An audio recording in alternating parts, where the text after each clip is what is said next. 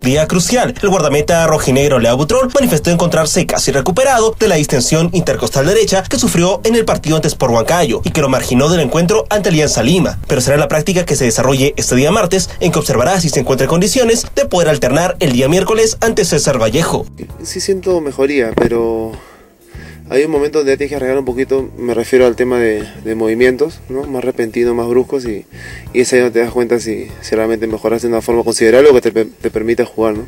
Muchos han sido los clasificativos que se han vertido sobre Juan Pablo Vegaso por el segundo tanto del encuentro ante Alianza Lima, pero Butrón considera que lo acontecido con Vegaso es algo que todo arquero pasa y es por ello que debe ser considerado como tal. Yo considero que las estadísticas son clarísimas, ¿no? Eh, el tema de los arqueros, todos nosotros hemos pasado por ese momento, el momento de, del error, ¿no? Creo que todos hemos pasado y, todos pasarán por ese camino.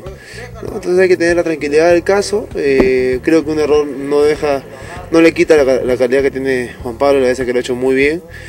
Eh, en todo caso creo que, que el tema del arquero es mental, ¿no? Saber sobrepasar estos momentos que, que, como te repito, todos, todos recorremos, ¿no? De otro lado, el golero piensa que las próximas dos semanas serán bastante complicadas para el equipo, ya que deberá afrontar una seguidilla importante de encuentros, iniciándose este día miércoles ante César Vallejo. Para nosotros la suspensión de la semana pasada fue un poquito...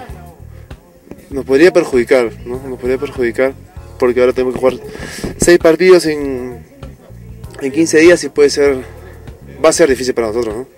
Como resultado del partido ante Alianza Lima, los jugadores Víctor Balta, Larry Yáñez y Carlos Segarra terminaron sentidos, por lo cual serán evaluados para descartar alguna lesión de mayor consideración.